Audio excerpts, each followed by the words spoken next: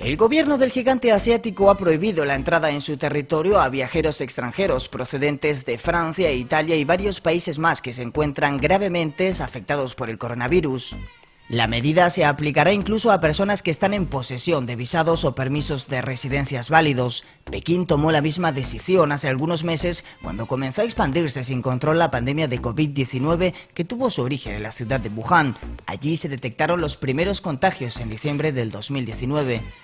El veto temporal de acceso preocupa a las autoridades comunitarias. Así, en el seno de la Cámara de Comercio de la Unión Europea, se interesan por la suerte que corren los ciudadanos que puedan residir legalmente en China y quedaron atrapados fuera del país desde que se impusieron medidas similares a finales de marzo. En la Unión Europea consideran que la prohibición supone un gran golpe a la moral de los negocios.